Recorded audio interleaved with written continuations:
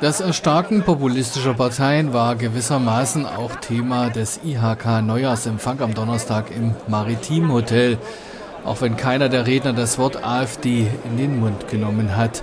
Denn welche Wirkungen wird das Erstarken des Rechtspopulismus auf der ganzen Welt auf das Zusammenleben in Europa haben? Weshalb man sich wohl entschloss, auch für 2019 das gleiche Motto wie im letzten Jahr auf das Plakat über dem Orchester zu schreiben – Wohin steuern Wirtschaft, Politik und Gesellschaft?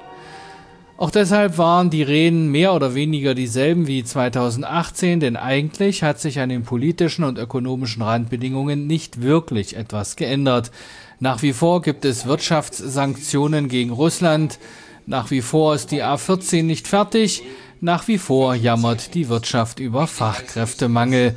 Und das veranlasste zumindest den Ministerpräsidenten, den anwesenden Unternehmern einmal ins Stammbuch zu schreiben, dass er sich genau deswegen wundere, wieso Jungfacharbeitern immer noch so viele zeitlich begrenzte Arbeitsverträge nach der Lehre angeboten würden. So könne ein junger Mensch sein Leben nicht planen, denn wenn nicht in Sachsen-Anhalt, dann eben anderswo. Wohin steuern Wirtschaft, Politik und Gesellschaft? Diese Frage konnte auch Festredner Norbert Lammert nicht beantworten. Er versuchte sich deswegen eher daran, sich an möglichen Zielen für die Zukunft abzuarbeiten. Denn wenn die Rechtspopulisten an Einfluss gewinnen würden, so Lammert, könnten die einzelnen Nationalstaaten in einer globalisierten Welt in der Bedeutungslosigkeit verschwinden. Ein bestes Beispiel wäre schon jetzt Großbritannien, das bereits nur durch den anstehenden Brexit wirtschaftlich und politisch auf dem besten Wege sei, nur noch eine kleine Insel in der Nordsee zu werden. Insofern werden wohl durch die Europawahlen Mitte des Jahres 2019 wichtige Weichen für die Zukunft gestellt.